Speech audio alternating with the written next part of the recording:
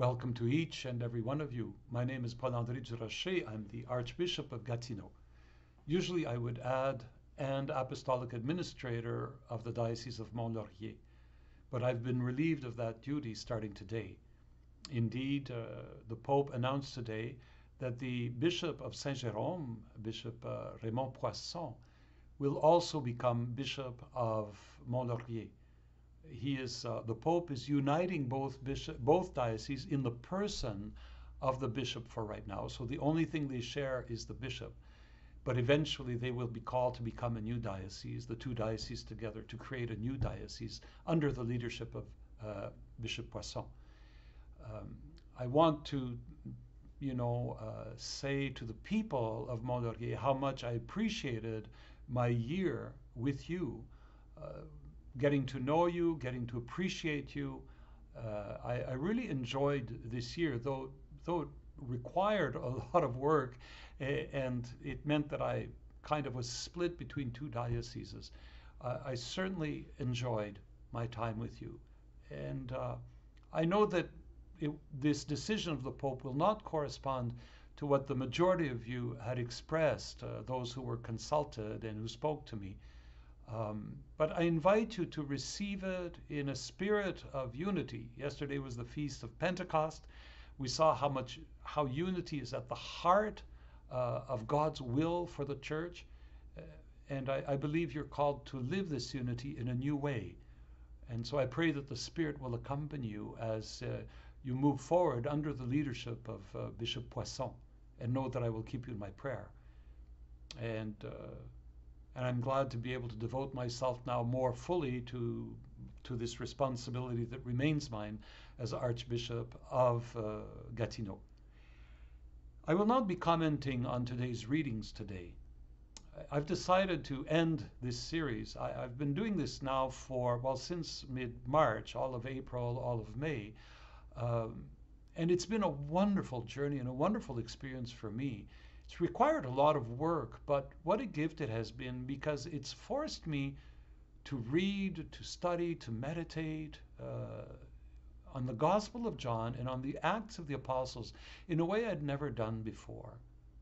And in that sense, it really is a blessing. These two texts have become a real source of inspiration for me. I hope they have for you also, for those of you who've been following me daily.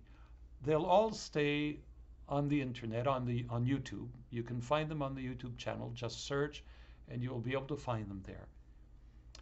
But I'm not disappearing from the net. Somebody suggested that I um, I do a little series on the Mass itself, on the parts of the Mass, on on the words and the gestures that we say and that we do at Mass.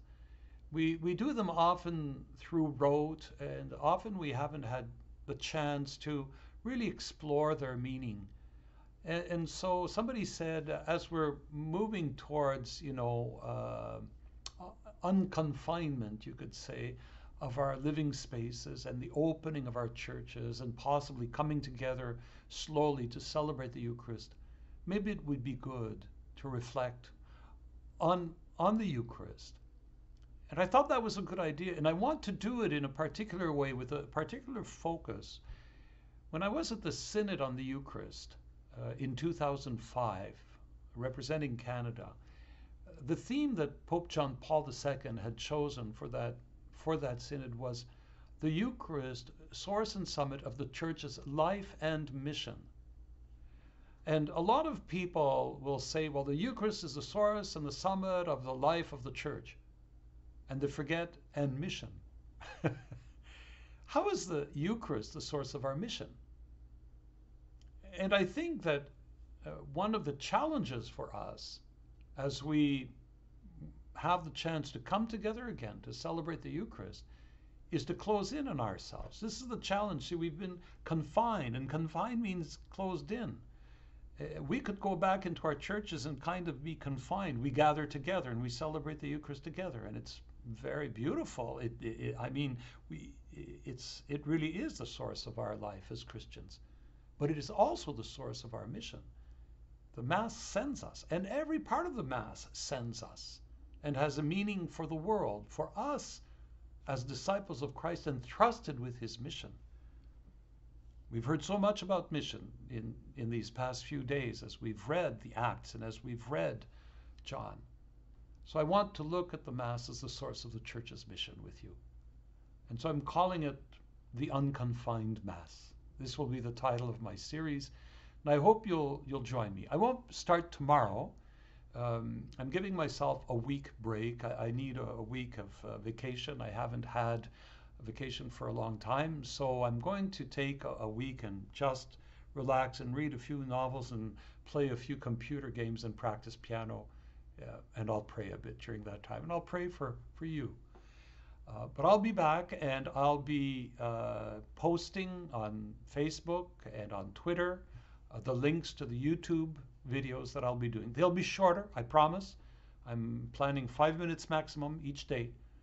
Uh, but I think it'll help us, all of us, me and you, uh, and those who'll join us, to uh, understand Mass maybe in a new way, in a deeper way.